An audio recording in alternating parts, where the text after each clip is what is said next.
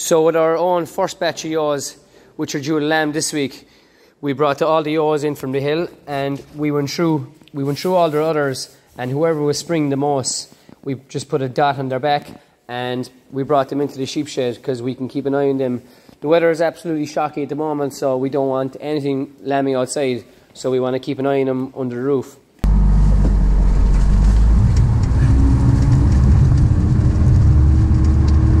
There is, there's one there underneath. Ah, you f***ing my leg! What happened? You f***ing door closing it. Really hope the weather picks up in a few days because just going to, you're going to run into serious problems if the weather stays like this. There's only so much, so much space you have inside to keep in the ewes and lambs, and you got to let them out, and there's a build up of bacteria and everything, and it would go, it would go in absolute shit inside as well. Never mind outside in the fields where the ground is absolutely sopping. We're to have days like this, though. Good days and bad days.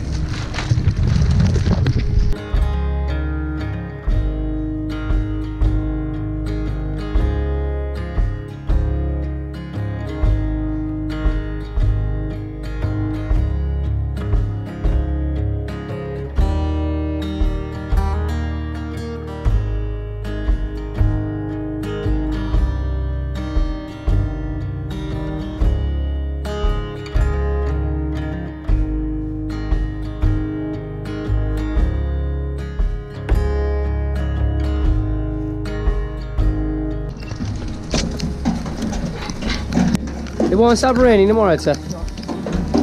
What you make of it? What you think of the rain? It's a bit of a bad. It's raining every day, you know.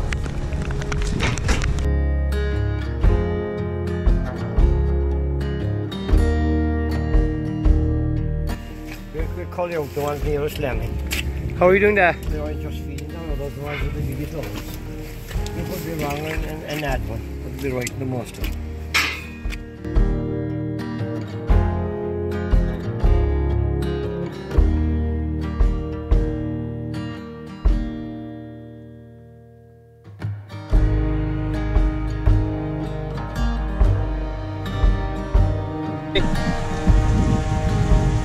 Red. Right. Change.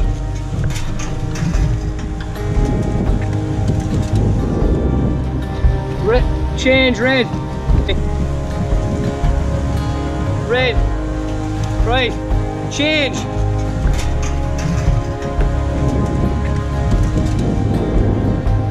Red. Change. Red.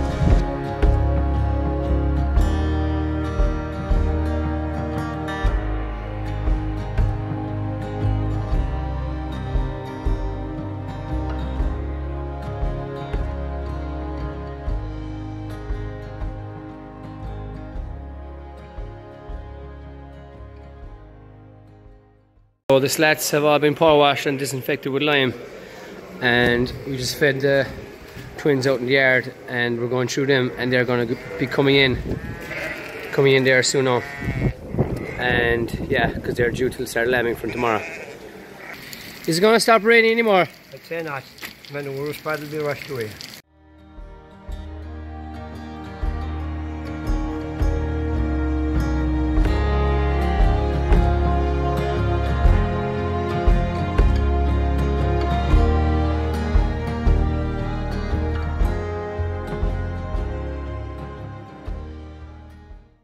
So we also got a chance this week to spread our first round of fertilizer.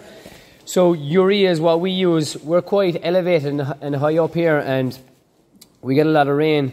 So we've tried other fertilizers over the over the last few years, and urea always comes out on top. So that's why we use it.